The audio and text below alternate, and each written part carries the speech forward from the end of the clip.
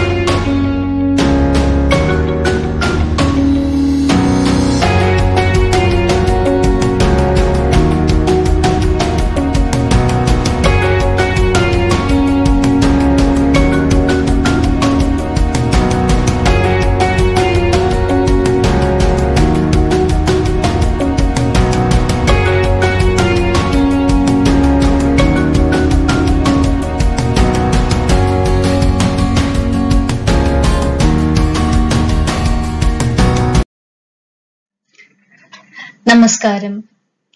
ഒരുക്കാം സുഭിക്ഷ സുന്ദര ഗ്രഹങ്ങൾ നഗരമധ്യത്തിൽ എന്ന വെബിനാർ പരമ്പരയുടെ ഒരു പുതിയ ലക്കത്തിലേക്ക് എല്ലാവർക്കും സ്വാഗതം.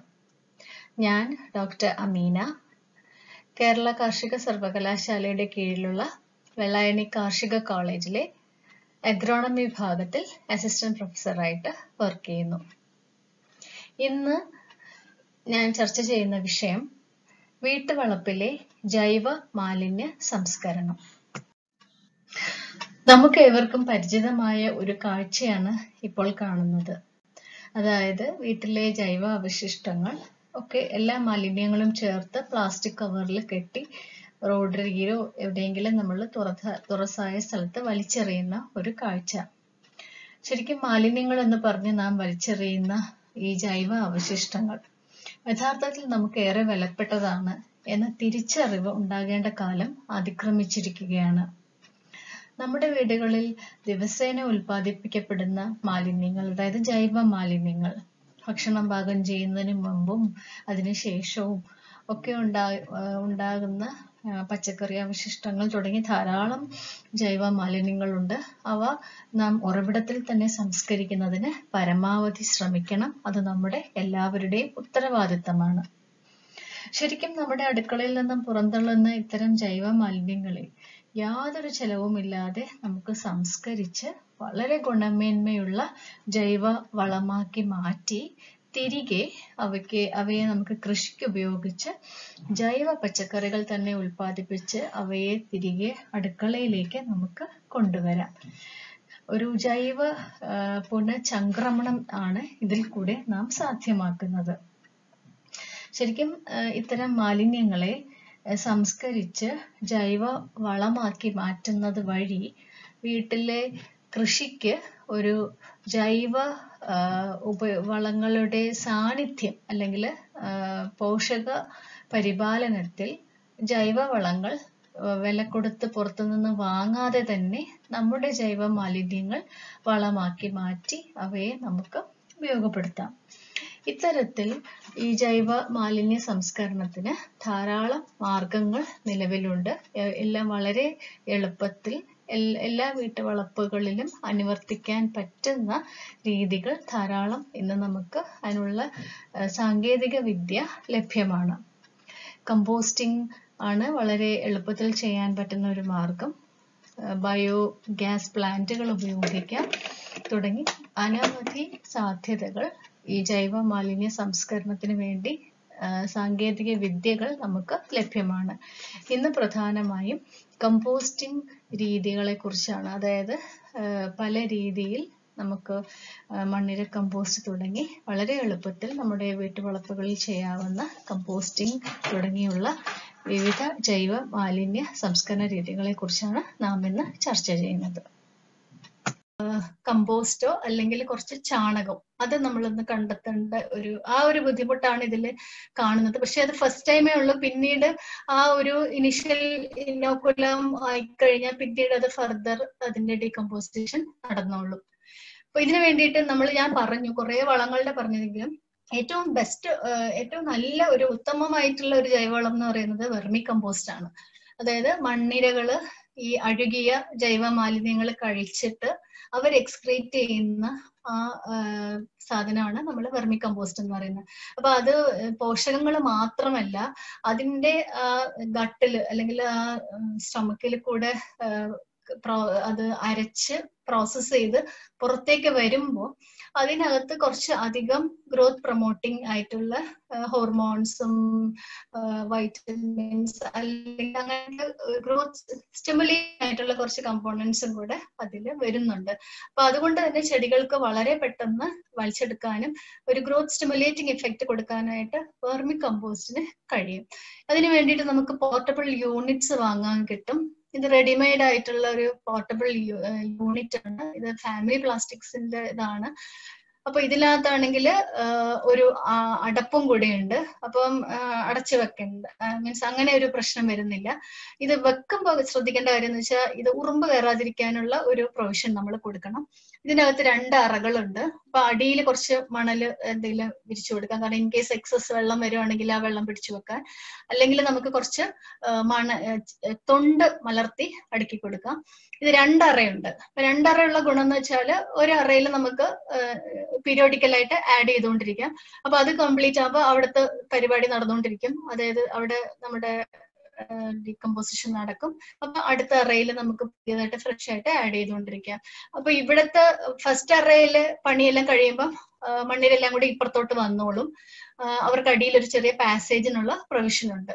അപ്പോ ഇവിടെ എന്താ വെച്ചാൽ ആദ്യത്തെ അറ കുറച്ച് കയ്യിലൊക്കെ ആയിരുന്നു. അത് പുറത്തൊന്ന് ഇട്ട് ചാണകമായിട്ട് മിക്സ് ചെയ്ത് വെച്ചിരുന്നു. അപ്പൊ അതൊന്ന് പാർഷ്യലി ഒന്ന് അഴുകി. ഇവിടെ ശ്രദ്ധിക്കേണ്ട കാര്യം പാർഷ്യലി ഒന്ന് അഴുകിയതിന് മാത്രമേ നമ്മൾ ആദ്യമായിട്ട് ഇടുമ്പോൾ മണ്ണിര ഇട്ട് കൊടുക്കാൻ പാടുള്ളൂ. കാരണം അഴുകിയത് മാത്രമേ മണ്ണിര തിന്നത്തുള്ളൂ.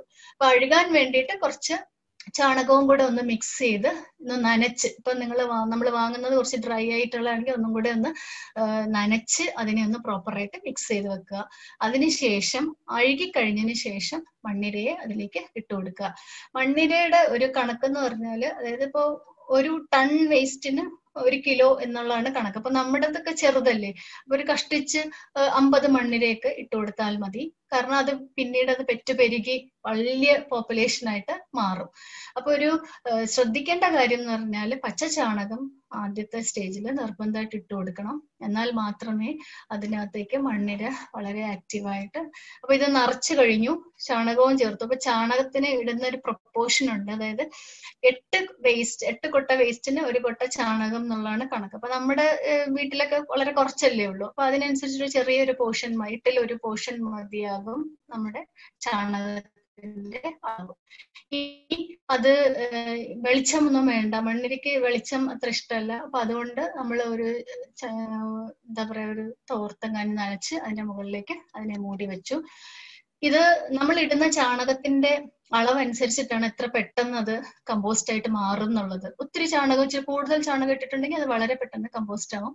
യൂഷ്വലി ഒരു ഒന്നര മാസമാണ് സമയം. പക്ഷെ കൂടുതൽ ഈസിലി ഡീകമ്പോസിങ് മെറ്റീരിയലും കൂടുതൽ ചാണകം ഉണ്ടെങ്കിൽ കുറച്ചും കൂടെ ഫാസ്റ്റ് ആയിട്ടാകും. അപ്പൊ ഇത് ആദ്യത്തെ അറയിൽ ഏകദേശം ആയിട്ടുണ്ട്. അപ്പോഴത്തേക്ക് ഇപ്പുറത്തെ അറയിൽ നമ്മൾ വീണ്ടും compost I mean fresh waste ഇങ്ങനെ വേസ്റ്റ് എന്ന് പറഞ്ഞാൽ ലിക്വിഡ് ആയിട്ടുള്ള വേസ്റ്റുകൾ ഒന്നും ആഡ് ചെയ്യരുത് ഇത് കഞ്ഞിവെള്ളം അങ്ങനത്തെ ഒന്നും ആഡ് ചെയ്യരുത്. അതുപോലെ ചിക്കൻ അങ്ങനത്തെ എല്ല് അതൊന്നുമില്ല. നമ്മുടെ വീട്ടിലുള്ള ജൈവ രീതിയിലുള്ള ഖരമാലിന്യങ്ങളാണ് ഇതിൽ ആഡ് ചെയ്യേണ്ടത്. വീട്ടിൽ വീഴുന്ന ചപ്പുചവറുകൾ അതൊന്നും കത്തിച്ച് കളയേണ്ട. അതൊക്കെ ഡെഫിനറ്റ് ആയിട്ട് നമുക്ക് ഇതിലിടാം പ്ലസ് പച്ചക്കറി അരിഞ്ഞത് അങ്ങനത്തെ ഉള്ള വേസ്റ്റുകൾ മുട്ടത്തൊട അതൊക്കെ നമ്മൾ ബയോഗ്യാസ് പ്ലാന്റിൽ ഒഴിവാക്കുന്ന സംഭവങ്ങളൊക്കെ ഇവിടെയും പൂർണമായിട്ട് ഒഴിവാക്കണം. ഇനി ഇത് അതിന്റെ ഒരു ചെറിയ മിനി യൂണിറ്റ് ആണ്. അപ്പൊ ഇവിടെ നമുക്ക് ഇതിന്റെ വാഷ് വെർമി വാഷ് എന്ന് പറഞ്ഞാൽ വെർമി കമ്പോസ്റ്റിൽ വെള്ളം ഒഴിച്ചിട്ട് കിട്ടുന്ന ആ വെള്ളത്തിന്റെ ആ ലിക്വിഡ് ആണ് വെർമി വാഷ്. അതും കളക്ട് ചെയ്യാനുള്ള പ്രൊവിഷൻ ഉണ്ട്. ഇനിയിപ്പോ ഇതേ മീൻകാര് ഒക്കെ വിൽക്കുന്ന ആ ഇതില്ലേ ആ മറ്റേ ആ പ്ലാസ്റ്റിക് ആ സംഭവം വേണമെങ്കിൽ നമുക്ക് വാങ്ങിച്ചിട്ട് അതിലും നമുക്ക് കമ്പോസ്റ്റിംഗ് യൂണിറ്റ് സ്റ്റാർട്ട് ചെയ്യാം. ശ്രദ്ധിക്കേണ്ടത് നമ്മൾ ഹോൾസ് കൊടുക്കണം. എക്സസ് വാട്ടർ ഉണ്ടെങ്കിൽ ഇൻ കേസ് വെള്ളം എക്സസ് വന്നിട്ടുണ്ടെങ്കിൽ അത് ഡ്രെയിൻ ഔട്ട് ചെയ്യാനായിട്ടുള്ള ഹോൾസ് നിർബന്ധമായിട്ട് കൊടുക്കണം. അതിന് വേണ്ടിയിട്ടാണ് ഞാൻ പറഞ്ഞത് ആദ്യമേ ഒരു ലെയർ മണൽ വിരിച്ച് അതിന്റെ മേലെ ചകിരി അടുക്കി അതിനുശേഷം വേണം നമ്മൾ വേസ്റ്റ് ഡെപ്പോസിറ്റ് ചെയ്യാൻ. വേസ്റ്റ് ലെയർ ബൈ ലെയർ ആയിട്ട് ഇടണം. അതിന്റെ ഇടയിൽ കൂടെ ചാണകം ഉണ്ടാവണം. അതൊരു പതിനഞ്ച് ദിവസം വെക്കണം. അതൊന്ന് ചൂട് വിട്ട് അഴുകി കഴിയുമ്പോൾ അതിലേക്ക് മണ്ണിര ഇട്ട് കൊടുക്കണം. ഇനി നമ്മൾ ഒന്നും ചെയ്യേണ്ട അവിടെ സ്റ്റാർട്ടർ ആയി കഴിഞ്ഞു. ഇപ്പുറത്തെ സൈഡിലേക്ക് നമ്മൾ ഇങ്ങനെ വേസ്റ്റ് കണ്ടിന്യൂസ് ആയിട്ട് ആഡ് ചെയ്തുകൊണ്ടിരിക്കാം പിന്നീട് ഈ ഫോം ചെയ്യുന്ന കമ്പോസ്റ്റ് തന്നെ ഒരു ഇതിന്റെ സോഴ്സ് ആയിട്ട് ആക്ട് ചെയ്യും. നമുക്കൊരു ഓപ്ഷൻ ഉള്ളതെന്ന് വെച്ചാൽ ഒരു കെ യുവിന്റെ ഒരു സ്മാർട്ട് ബയോബിൻ ഉണ്ട്. അത് നമുക്ക് വളരെ ഈസി ആയിട്ട് ഹാൻഡിൽ ചെയ്യാൻ പറ്റുന്ന ഒരു വീട്ടിലെ ജൈവ മാലിന്യങ്ങളെ കമ്പോസ്റ്റ് ആക്കി മാറ്റാൻ പറ്റുന്ന ഈ ചിത്രത്തിൽ എത്രമാത്രം ക്ലിയർ ആണെന്ന് എനിക്ക് അറിയില്ല ഇത് വളരെ സിമ്പിൾ ആണ്. കംപ്ലീറ്റ് ആയിട്ട് എയറോബിക് ആയിട്ടാണ്. അതായത് എന്താ പറയാ വായുവിന്റെ സാന്നിധ്യത്തിൽ ചെയ്യുന്ന അടച്ചു വെച്ച് നമ്മൾ ചെയ്യുന്ന പരിപാടിയല്ല. ഇത് നിറയെ ആ തുളകളുള്ള ഒരു സിലിണ്ട്രിക്കൽ ആയിട്ടുള്ള ഒരു എന്താ പറയാ ഒരു സിലിണ്ടർ ആയിട്ടുള്ള ഒരു സ്ട്രക്ചർ അതിന് ഒരു അടപ്പ് കാണാം. ഇനി ഇതിന്റെ ഉള്ളിൽ കൂടെ നോക്കൂ ഇതാണ് നമ്മുടെ ആ സ്ട്രക്ചർ അതായത് സിലിണ്ടറിക്കൽ ആയിട്ടുള്ള ഒരു ഒന്നര മീറ്റർ ഹൈറ്റ് ഉള്ള നിറയെ തുളകളുള്ള ഒരു വീപ്പ പോലത്തെ ഒരു സാധനം. ഇനി ഇതിന്റെ അകത്ത് ഒരു സിലിണ്ടറിക്കൽ ആയിട്ടുള്ള ഒരു എന്താ പറയാ ഒരു ഇതും കൂടെ ഉണ്ട്. അപ്പോ ഇവിടെ ഈ രണ്ടിന്റെയും ഇടയിൽ കുറച്ച് സ്പേസ് ഉണ്ട്. ഈ കാണുന്ന സ്പേസ് ഈ കാണുന്ന സ്പേസിലാണ് നമ്മൾ കരിയിലകൾ നിറയ്ക്കേണ്ടത്. ഈ കരിയിലകൾ നിറയ്ക്കുന്നതിന് ഒരു പർപ്പസ് ഉണ്ട്. ആദ്യം ഈ ഫസ്റ്റ് യൂണിറ്റിന്റെ അടിയിൽ ഒരു കുറച്ച് പേപ്പർ ഇട്ട് അതിനെ ബേസ് ഉണ്ടാക്കി. ഇനി അതിന്റെ അകത്തേക്ക് ഈ യൂണിറ്റ് നമുക്ക് ആ സെന്ററിൽ വരുന്ന സർക്കുലർ സിൻഡ്രിക്കൽ യൂണിറ്റ് വെച്ചു. ഇതിന്റെ ഇടയിൽ നമ്മുടെ മുറ്റത്തുള്ള കരിയിലകൾ നിറയ്ക്കണം. ഈ കരിയിലകൾ ഇവിടെ നിറയ്ക്കുന്നതിന്റെ ഉദ്ദേശം എന്ന് പറഞ്ഞാൽ നല്ല രീതിയിൽ എയറേഷൻ കിട്ടണം. നല്ല രീതിയിൽ വായു സഞ്ചാരം ഉണ്ടാവണം. ഈ നടുവിലുള്ള യൂണിറ്റിലാണ് നമ്മൾ നമ്മുടെ വേസ്റ്റ് ഡെപ്പോസിറ്റ് ചെയ്യുന്നത്.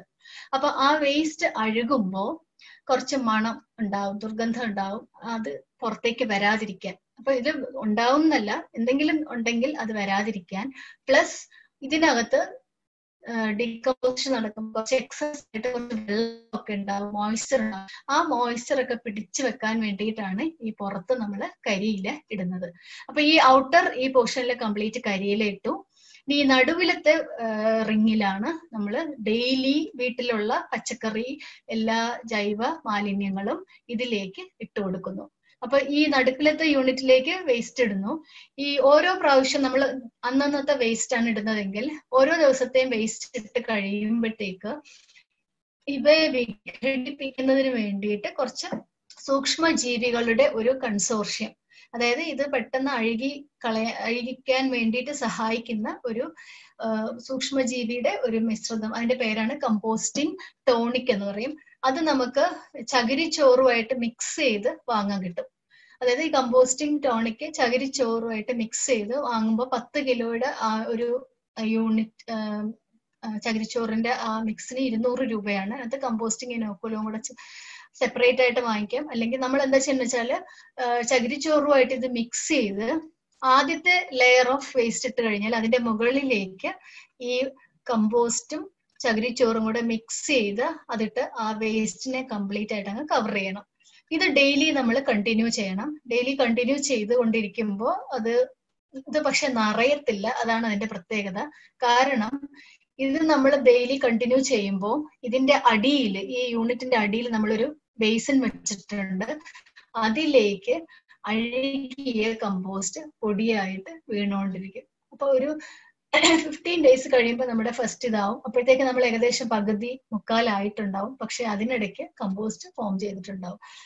അത് നമുക്ക് ഡേ കളക്ട് ചെയ്ത് എടുക്കാം. അപ്പൊ അതിന്റെ ഈ സ്മാർട്ട് യൂണിറ്റിന്റെ വില എന്ന് പറയുന്നത് രണ്ടായിരം രൂപയാണ്. ഈ നാൽപ്പത്തഞ്ച് ദിവസം കഴിയുമ്പോഴത്തേക്ക് വീഴുന്ന കമ്പോസ്റ്റ് നമ്മൾ കളക്ട് ചെയ്ത് മാറ്റുമ്പോൾ പിന്നീട് ഈ സൈക്കിൾ ഇങ്ങനെ കണ്ടിന്യൂ ചെയ്തുകൊണ്ടിരിക്കും. കമ്പോസ്റ്റ് വീണുകൊണ്ടേയിരിക്കും. നമ്മുടെ ഡെയിലി അഡീഷനും ഒരു സൈഡിൽ കൂടെ കണ്ടിന്യൂ ചെയ്യും. അപ്പൊ ഇത് കുറച്ചും കൂടി ഈസി ആയിട്ട് ഹാൻഡിൽ ചെയ്യാം. ഇവിടുത്തെ വേണ്ടത് ഈ കമ്പോസ്റ്റിംഗ് ഇനോക്കുലാണ് വേണ്ടത്. ഇനി നമ്മുടെ എറോബിക് കമ്പോസ്റ്റിങ്ങിന് വേണ്ടി നമ്മുടെ എനിക്ക് തോന്നുന്നു കോർപ്പറേഷൻ വക എറോബിക് കമ്പോസ്റ്റിംഗ് യൂണിറ്റ് ഇതേ പ്രിൻസിപ്പിൾ തന്നെയാണ്. പക്ഷെ ഇവിടെ മൂന്ന് കമ്പാർട്ട്മെന്റ്സ് ആയിട്ട് മൂന്ന് യൂണിറ്റ് ഉണ്ട്. ഓരോ യൂണിറ്റിലും നമ്മൾ നമ്മുടെ വേസ്റ്റ് ഇടുന്നു. അതിലേക്ക് നമ്മുടെ ഈ പറഞ്ഞ ഇനോക്കുലവും ചകിരിച്ചോറും കൂടെ മിക്സ് ചെയ്ത് ഒരു ദിവസത്തെ വേസ്റ്റ് അതിന് അതിന്റെ മുകളിലേക്ക് ഇനോക്കുലവും ചകിരിച്ചോറും അടുത്ത ദിവസത്തെ വേസ്റ്റ് ഇനോക്കുലവും ചകിരിച്ചോറും. ഇത് കണ്ടിന്യൂ ചെയ്യുന്നു. ഫസ്റ്റ് ബക്കറ്റ് എന്ന് പറയുമ്പോൾ അതെടുത്ത് അടിയിൽ വെക്കുന്നു. അടുത്ത ബക്കറ്റ് വരുന്നു. അത് കംപ്ലീറ്റ് ഓരോ സൈക്കിൾ കഴിയുമ്പോഴത്തേക്കും ഏറ്റവും അടിയിലത്തെ യൂണിറ്റ് റെഡി ആയിട്ടുണ്ടാവും. അത് നമുക്ക് ചെടിക്ക് ഉപയോഗി വളമായിട്ട് ഉപയോഗിക്കും. ഇതൊക്കെ വളരെ ഈസിയാണ് ഹാൻഡിൽ ചെയ്യാൻ. വേറെ സ്മെല്ലും അങ്ങനത്തെ ഒരു പ്രശ്നവും ഇല്ല. പ്രോപ്പർ ആയിട്ട് നമ്മൾ ഇനോക്കുലവും അത് കവർ ചെയ്യാനുള്ള ചകിരിച്ചോറും കൃത്യമായിട്ട് ഇട്ട് കൊടുക്കണം. അത് മാത്രം നമ്മൾ കാര്യമുള്ളൂ. ഇനി ഒരു കമ്പോസ്റ്റിംഗ് ഇനോക്കുലം കൂടെ ഉണ്ട്. അതായത് അർബൻ കമ്പോസ്റ്റിംഗ് ഇനോക്കുലം ആണ്. ഇതും കുറച്ചും കൂടെ സിമ്പിൾ ആയിട്ട് ചെയ്യാൻ പറ്റുന്നതാണ്. ഇത് നമ്മുടെ വെള്ളായണി കോളേജിൽ ഈ കമ്പോസ്റ്റിംഗ് ഇനോക്കുലം അവൈലബിൾ ആണ്. അതിന് നമുക്ക് വേണ്ടതെന്ന് വെച്ചാൽ രണ്ട് ചട്ടി മൺചട്ടി രണ്ടെണ്ണം. അത് നമ്മൾ ചെടിക്ക് നടാൻ ചെടിക്ക് ചെടി നടാൻ വേണ്ടി ഉപയോഗിക്കുന്ന രണ്ട് ചട്ടി. ഈ രണ്ട് ചട്ടി എന്തിനാണെന്ന് വെച്ചാൽ ഒരു ചട്ടി നിറഞ്ഞു കഴിയുമ്പോഴത്തേക്ക് അത് മാറ്റി വെച്ചിട്ട് അടുത്ത ചട്ടിയിലായിരിക്കും നമ്മൾ കണ്ടിന്യൂ ചെയ്യുന്നത്.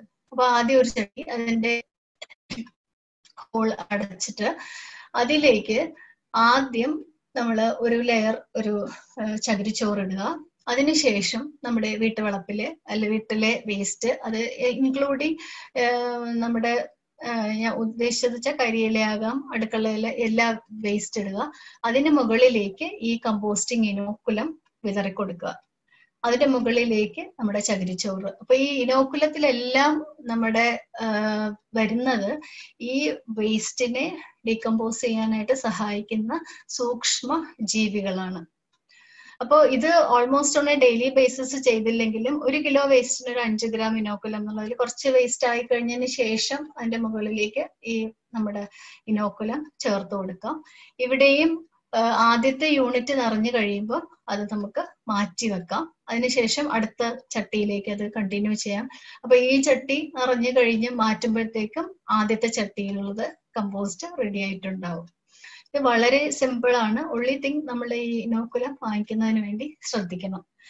അപ്പോ ഇതിൽ നമുക്ക് പ്രശ്നം വരുന്നതെന്ന് പറഞ്ഞാൽ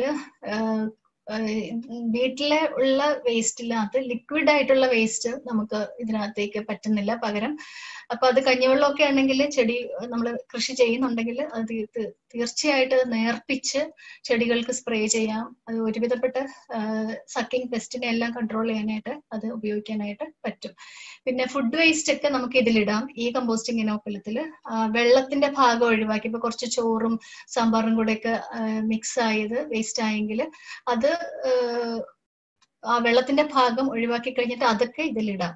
അതിനൊന്നും യാതൊരു തടസ്സവും ഇല്ല. അതായത് ഫുഡ് വേസ്റ്റ് ഒരിക്കലും ഡിസ്കാർഡ് ചെയ്യേണ്ട.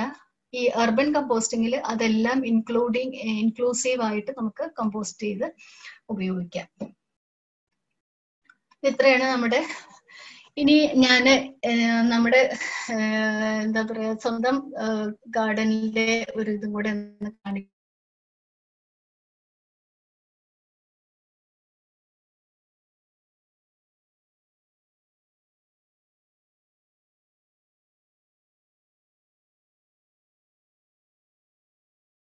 ക്ലൈം ട്രെയിൽ ചെയ്യുന്ന ചെടികളാണ്. അപ്പൊ അതിനു വേണ്ടി ഒരു ചെറിയ സ്ട്രക്ചർ ഇതുപോലെ ഒരു പന്തൽ പ്രൊവിഷന് കിട്ടുന്നത് പോലെ ഒരു സ്ട്രക്ചർ ഉണ്ടാക്കി. അപ്പൊ അതിൽ നമ്മൾ ടങ്കീസ് വെച്ചിട്ട് കെട്ടി പടർത്താൻ വേണ്ടിയിട്ട് ഇനി ഇറിഗേഷന് വേണ്ടിയിട്ട് ഡ്രിപ്പ് ലൈൻസ് ഇട്ടു. പൈപ്പ് ഉണ്ട്. ഈ പൈപ്പിലേക്കാണ് ഈ ഡ്രിപ്പ് ലൈൻ കണക്ട് ചെയ്തിരിക്കുന്നത്. പിന്നെ ഒരു പ്രഷർ പമ്പ് ഓൾറെഡി ഉണ്ട്. അപ്പൊ അതും കൂടെ ചേർത്തിട്ട് ഇവിടെ നമുക്ക് വെള്ളം ഡ്രിപ്പ് ചെയ്യാനായിട്ട് ഹെൽപ്പ് ചെയ്യും. പിന്നെ ഫ്ലോറിങ്ങിൽ വെള്ളം ഇറങ്ങാതിരിക്കാൻ വേണ്ടിയിട്ട് വിനൈലിന്റെ ഷീറ്റാണ് തറയിൽ ഒട്ടിച്ചിരിക്കുന്നത്. അപ്പം ഇത് നമുക്ക് വേറെ സ്ഥലമില്ല. ആകെ ഉള്ളത് ഒരു ബാൽക്കണി ആയിരുന്നു. അപ്പൊ ആ മൂന്നാമത്തെ നിലയിൽ കയറുന്നതിന് ഉള്ള ബുദ്ധിമുട്ട് കൊണ്ടാണ് ഇത് ഓപ്റ്റ് ചെയ്തത്. അപ്പൊ ഇതിന്റെ വെള്ളം ഇതിന്റെ ഇറങ്ങുകയാണെങ്കിൽ അത് കുറച്ച് സ്ഥലത്ത് മഴയും വീഴുന്നുണ്ട്. അപ്പോ വെള്ളം ഒരിക്കലും ഇവിടെ ഡ്രിപ്പ് ചെയ്യില്ല. പക്ഷെ എക്സസ് വാട്ടർ അവിടെ ഇതിന്റെ ഏതെങ്കിലും കാരണത്താൽ ഇലകളും ഒക്കെ വീണ് അവിടെ കെട്ടി നിന്ന് ഇതാവാതിരിക്കാൻ വേണ്ടിയിട്ടാണ് നമ്മൾ അങ്ങനെ ഒരു ഫ്ലോറിംഗ് കൊടുത്തത്. അപ്പൊ ഇതാണ് അതിന്റെ ഒരു ഓവറോൾ ആയിട്ട് ഉള്ളൊരു സ്ട്രക്ചർ അപ്പൊ ഇവിടെ എല്ലാം നമുക്ക് ക്ലൈംബ് ചെയ്യുന്നത്. അപ്പൊ ഈ സൈഡിലെല്ലാം പാവൽ ഈ സൈഡിലെല്ലാം വള്ളിപ്പയർ. പിന്നെ തക്കാളി മുളകും കുറച്ച് തക്കാളിക്ക് അല്ലെങ്കിൽ മുളകിന് കുറച്ച് വെയിൽ ഇതിന്റെ മുകളിൽ പെർഗോളയാണ്. പെർഗോള ആകുമ്പോഴത്തേക്ക് പോളികാർബണേറ്റ് ഷീറ്റ് ഇട്ടിട്ടുണ്ട്. അപ്പൊ അതുകൊണ്ട് വെളിച്ചം താഴെ കിട്ടും. പക്ഷെ മഴ താഴേക്ക് വീഴത്തില്ല. അതാണ് അതിന്റെ ഒരു അതുകൊണ്ടാണ് ഇറിഗേഷൻ നമ്മൾ അങ്ങനെ പ്രൊവൈഡ് ചെയ്തിരിക്കുന്നത്. അപ്പൊ ഈ പറഞ്ഞ ഞാനിപ്പോ നിങ്ങളോട് പറഞ്ഞ അതേ രീതിയിലാണ് നമ്മൾ എല്ലാ കാര്യങ്ങളും ഗ്രോ മീഡിയം പ്രിപ്പയർ ചെയ്തതും. സീഡ്ലിങ്സ് എല്ലാം പ്ലാന്റ് ചെയ്തതും ആ ഒരു റൂൾസ് ഫോളോ ചെയ്തിട്ടാണ്. അപ്പോൾ പാവലെല്ലാം അതിലേക്ക് മുകളിലേക്ക് പടർന്നു. ഈ സൈഡിൽ നിന്ന് വള്ളിപ്പയറും ഒക്കെ പടർന്നു കയറി. അത് ലോക്ക്ഡൗൺ പീരീഡിൽ നമുക്ക് പച്ചക്കറികളുടെ ഒരു ഫ്രഷ് ആയിട്ട് പച്ചക്കറികൾ അവൈലബിൾ ആവാനായിട്ട് നമ്മൾ ഇതുപോലെ ഒരു ഉള്ള സ്പേസ് യൂട്ടിലൈസ് ചെയ്ത് പ്രോപ്പറായിട്ട് ആ ഒരു ടെക്നിക്കൽ അസിസ്റ്റൻസും കൂടെ നമ്മൾ കൊടു അത് രീതിയിൽ പ്രൊവൈഡ് ചെയ്യാൻ പറ്റുമെങ്കിൽ നമുക്ക് എല്ലാവർക്കും വളരെ എളുപ്പത്തിൽ വീട്ടിൽ നമ്മുടെ ഫുഡ് നമ്മുടെ എന്താണ് നമ്മുടെ റിക്വയർമെന്റിന്റെ എല്ലാം ഒരിക്കലും ചെയ്യാൻ പറ്റുമെന്ന് പറയുന്നില്ല. ഒരു ചെറിയൊരു പാർട്ടെങ്കിലും നമുക്ക് നമ്മുടെ എല്ലാവരുടെയും വീട്ടിൽ ചെയ്യാനായിട്ട് സാധിക്കും. അപ്പൊ അതിന് വേണ്ടത് അതിന് എന്താണ് നമ്മുടെ പ്രസന്റ് സിറ്റുവേഷൻസ് അതിൽ എന്തൊക്കെ കാര്യങ്ങൾ നമ്മൾ മാറ്റം വരുത്തണം? എന്തൊക്കെ രീതികൾ ഇനി പുതുതായിട്ട് കൊണ്ടുവരണം എന്ന് നമ്മൾ തന്നെ ഒരു പ്ലാൻ ഉണ്ടാക്കുക. അപ്പോൾ